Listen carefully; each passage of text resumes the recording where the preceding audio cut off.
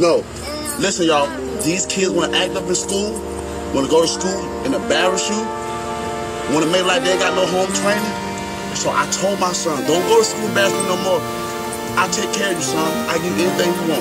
I discipline you. But you're gonna embarrass me like this? No, so now I'm gonna cut his hair, send him to school with a bald head.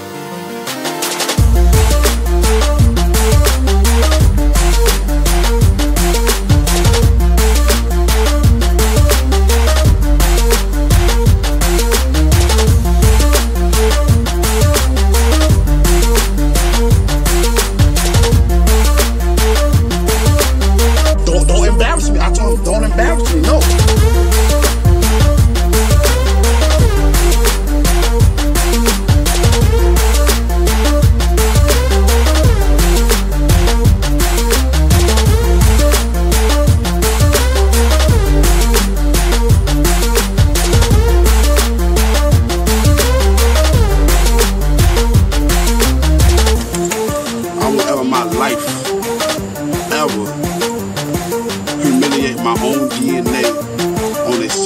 Network.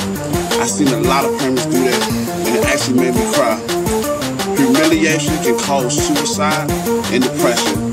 Come on, I'm 26 and I know better than that. Come on, y'all. I, I do not respect that. Everybody have their own opinion. The people that might get mad with this video is the people that probably already embarrassed their child.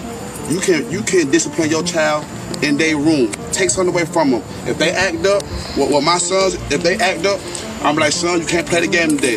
They act up again, I'm gonna say, son, you gonna read a book all day today. You can't watch TV. That's it.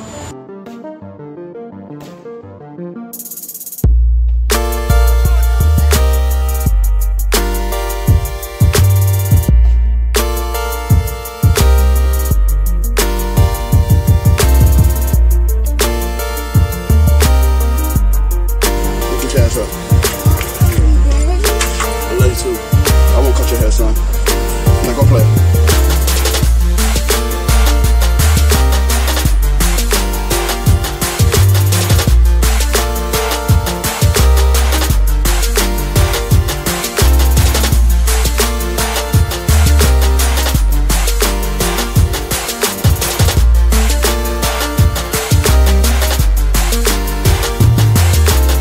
Like we living in